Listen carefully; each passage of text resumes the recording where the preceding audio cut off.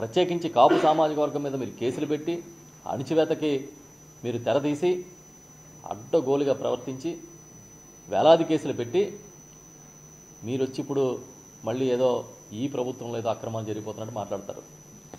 మీకు గుర్తులేదా అని అడుగుతున్నా. ప్రత్యేక హోదా కోసం పోరాటం చేయడానికి ఆ రోజు జగన్మోహన్ రెడ్డి గారు విశాఖపట్నం ఎయిర్పోర్ట్లో రన్వే మీద దిగితే ఎలా నిర్బంధించారో మీకు మీకు తెలియదా అది అక్రమ నిర్బంధం కదా?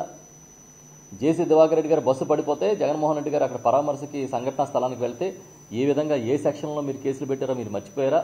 అవి అక్రమ కేసులు కాదా? ఇవాళ వచ్చి ఏదో పెద్ద నీతి కబుర్లు చెప్తా ఉన్నారు ఏదైనా అంటే మీకు సొంతంగా ప్రచారం చేసుకునే శక్తి సామర్థ్యాలు ఉన్నాయి కాబట్టి ఎవరి మీదైనా సరే ఎలాంటి దుష్ప్రచారాన్ని చేస్తారు. మీరు మాట్లాడే మాటలు మర్చిపోయారు అనుకుంటారు. అందుకే నిన్న శాసనసభ సాక్షిగా ఆ రోజు మండల రద్దు కోసం ఆయన ఏమన్నాడో ఇవాళ ఏం మాట్లాడుతూ ఉన్నారో ఆ రోజు ఏ ఇష్యూస్ మీద ఎలా మాట్లాడారు ఇవాళ ఎలా మాట్లాడుతున్నారో శాసనసభ సాక్షిగా నేను అందరికీ ప్రజలందరికీ తెలియజేయడం జరిగింది. ముఖ్యమంత్రి గారే స్వయంగా వివరించారు.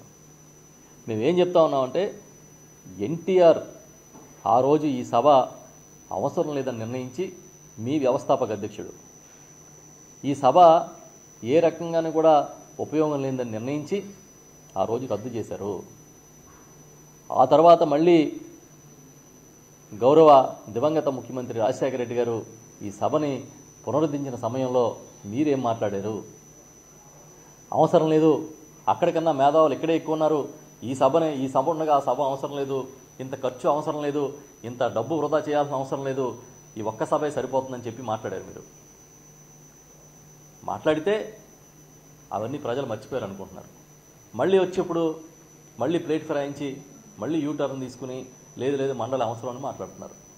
మండలి ఎవరికి అవసరం? లోకేష్కి అవసరం. ఎందుకంటే మీ తనయుడు లోకేష్ మంగళగిరిలో ఓడిపోతే నైతిక బాధ్యతగా ఆ ఎమ్మెల్సీ పదవి కూడా రాజీనామా చేసి ఉండాలి ఆ రోజు. నైతిక బాధ్యత వహించకపోగా మళ్ళీ వాళ్ళొచ్చి ఈ పెద్దల సభలో కూర్చుని రాజకీయం చేస్తూ ఉన్నారు. మీకు ఆ సభ దేనికి పనికొస్తూ ఉందంటే కొంతమంది వ్యక్తుల్ని రాజకీయంగా అక్కడ పదవులు ఇచ్చి వినియోగించుకోవడానికి పనికొస్తా ఉంది. పాపం నిజంగా ఆ రోజు పీడిఎఫ్ సభ్యులు కానీ మండల్లో బీజేపీ సభ్యులు కానీ ఎంత ఆవేదన చెందారో మేము కళ్ళారా చూసాం. వారిని మాట్లాడినెవరు? వారి సమయాన్ని కూడా వీరే హరిస్తారు. ఒక సబ్జెక్ట్ మీద ఏం మాట్లాడరు? ప్రతి దాంట్లో కక్షపూరితం. సరే మీరు మూడు రాజధానులు అమరావతి వ్యవహారాన్ని మీరు ఏదో రాజకీయంగా వాడుకోవాలని చూస్తున్నారు ఓకే. నిజంగా ప్రజల కోణంలో చూసేవాళ్ళైతే ఎస్టీ కమిషన్ విభజనకు సంబంధించి ఎందుకు మీరు ఆ బిల్లుకు డిఫర్ అయ్యారని అడుగుతున్నాం.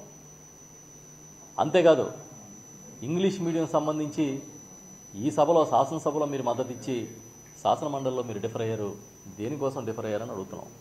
అంటే కేవలం రాజకీయ అవసరాల కోసం మీరు ప్రతిసారి ప్రతి బిల్లుకు మోకాలడ్డుతూ మీరు ఏదో రాజకీయంగా అదేదో వేదికని వాడుకుందాం అనుకుంటే ఆ సభని ప్రజలు చూస్తూ ఊరుకోవాలా?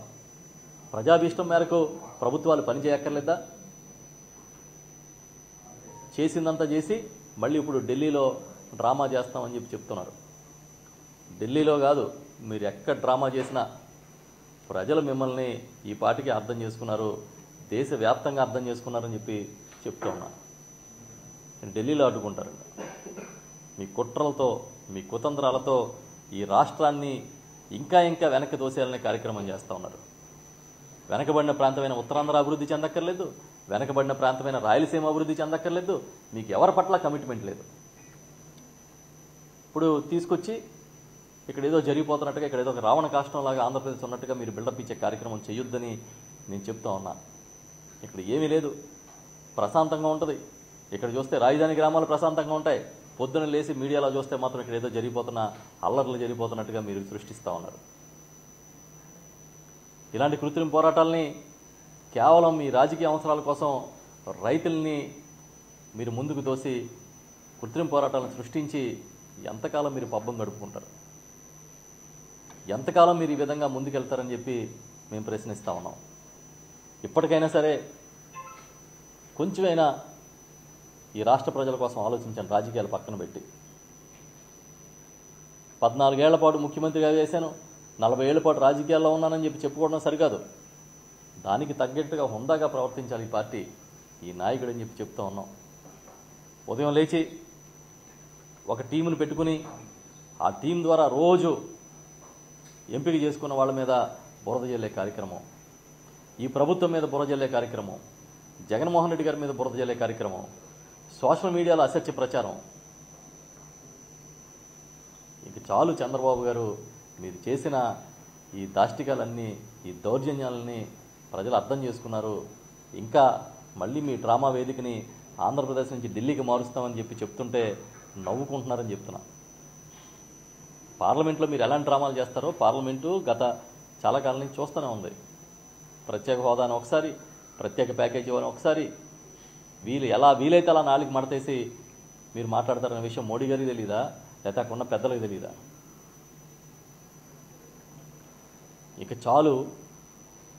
ఆంధ్రప్రదేశ్ ప్రయోజనాల కోసం మీరు పాటు పడడం మొదలుపెట్టండి. మీరు ఇక చాలు ఈ కుట్రపూరిత రాజకీయాలను ఆపేయండి అని చెప్పి ఈ సందర్భంగా చెప్తూ ఉన్నాం. ఓకేనా? ఏంటండి? వీడియో నచ్చిందా? అయితే ఓ లైక్ వేసుకోండి. లేదంటే ఓ కామెంట్ చేయండి. ఎప్పటికప్పుడు మా వీడియోస్ చూడాలంటే సబ్స్క్రైబ్ చేసుకోండి.